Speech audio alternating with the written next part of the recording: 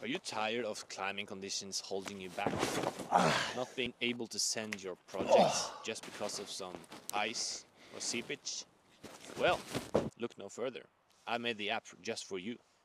It's gonna be called something. It doesn't have a name yet.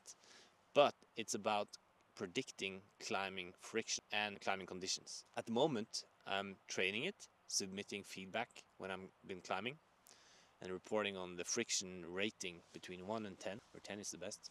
And it seems to be working, uh, but I need more training data to be make it general. What enabled this was Databutton, which is an AI-driven app developing tool page, something, or vibe coding, as they've called it. Basically, I'm chatting with the AI agent, just prompting back and forth in order to plan the design, the backend, and everything, and then it builds for you. And I'm not a front-end developer, but I was able to build this app using Databutton. If you want to try it out, and I recommend it, if you have your own SaaS dream, go to Databutton, use this link, and you get 20% off.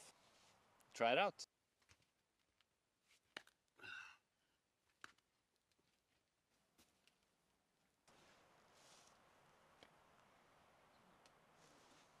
There's no climbing nearby, is there? No rocks.